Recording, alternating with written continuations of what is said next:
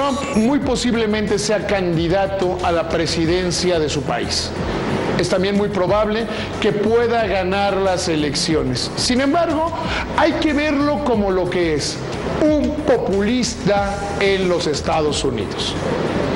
Si veíamos que Barack Obama era populista, este le dice quítate que hay que voy. Es mucho más populista, mucho más irresponsable. Algunos dicen que quizá no es tan peligroso porque no se cree todo lo que dice.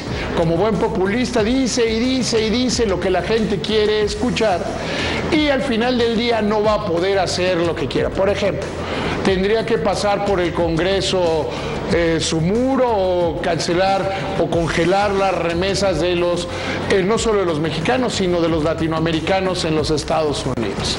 Ahora se lanza con una nueva. Quiere desaparecer a la Reserva Federal.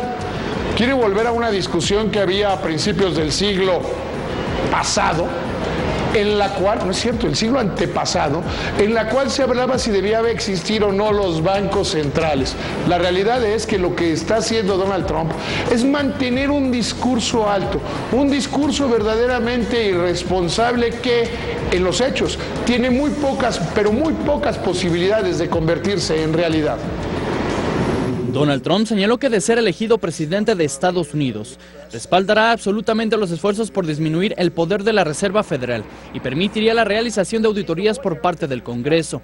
Aseguró que respalda la decisión de mantener las tasas de interés bajas. Sin embargo, se inclinaría por asignar a otras personas al frente del Banco Central y aclaró que bajo su gobierno solo enfrentaría una parte de la deuda del país y no se liquidaría en ocho años, como había anunciado previamente.